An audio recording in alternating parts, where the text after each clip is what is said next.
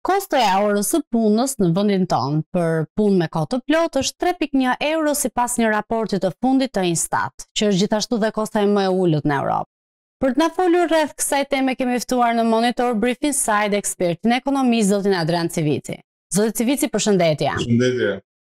Në raport thuhet se kostoja e orës së punës ndryshon sipas aktivitetit ekonomik dhe praktikisht kostoja mesatare orare për njësi pune me kohë të plotë, thuhet në raport, është më e lartë në aktivitetet financiare dhe të sigurimit dhe më e ulët në aktivitetet e akomodimit dhe ato të shërbimit të ushqimit. Pse ndodh kjo, zoti Civici dhe cilat do të ishin mënyrat për të adresuar këtë hendek pagash në sektorë të ndryshëm? Natyrisht kosto orare e punës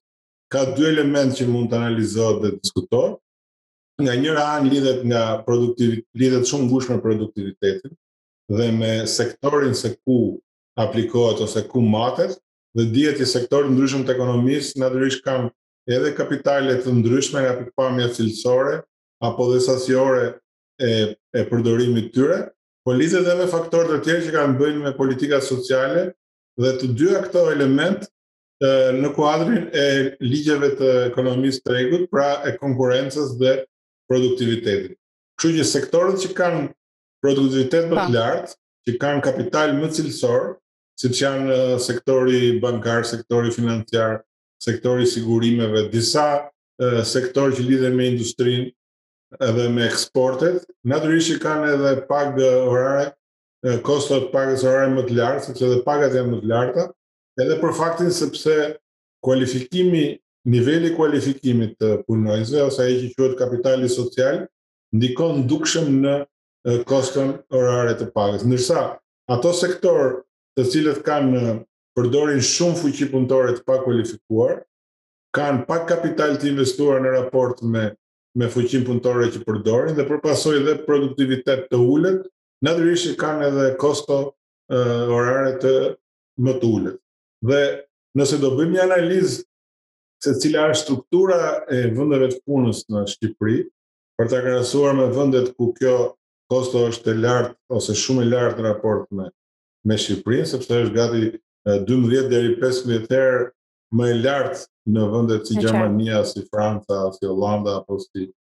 si Belgjika, në Shqipëri në strukturën e vendeve të punës dominojnë vendet e punës me paga të ulta dhe kryesisht në sektor shërbimesh që nuk kanë nivel të lartë investimesh, siç është rasti qoftë i industrisë me fason, qoftë i call center, qoftë i një numri të madh shërbimesh që janë kryesisht shërbime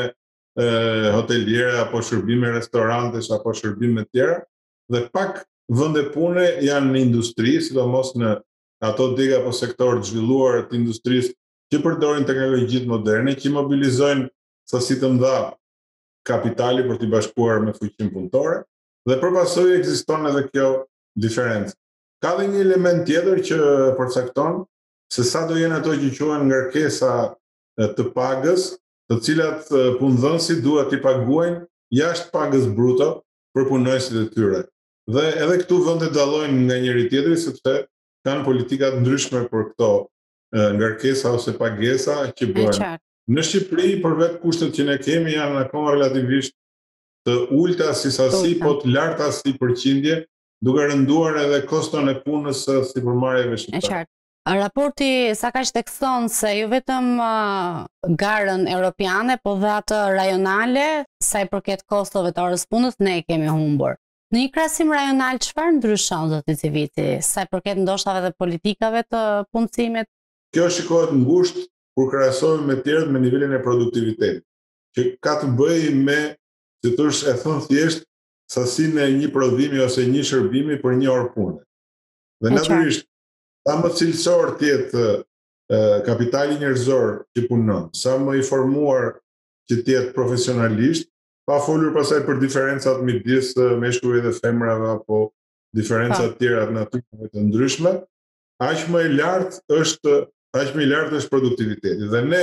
nëse duam të krahasohemi dhe të shqetësohemi, është pikërisht fakti që edhe në nivel rajonal, pa shkuar më gjerë, Shqipëria përsëri